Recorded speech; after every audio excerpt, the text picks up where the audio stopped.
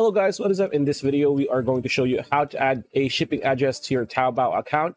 Now, of course, you need to be logged in, and after you've logged in, all you need to do is look towards the very top center of the screen. It's, it's going to say My Taobao. So if you click on that, this page, your Taobao, My Taobao page, or pretty much a profile page will appear.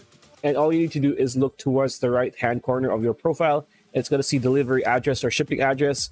All you need to do is go to Add, and this option will appear. All you need to do is click on add an address and just fill it up. Now, make sure that your country is part of the Taobao coverage. So as you can see here, mainly it is in China, mainland China.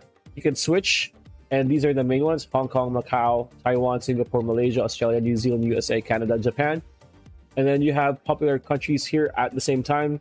Uh, so you can just check out if your country is part of it or not. And all you need to do is after you filled up everything just need to click confirm and you will be good to go. So that's pretty much it. That's a video. Hope you liked it. Like comment share subscribe. Ring that bell icon. We'll see you on the next video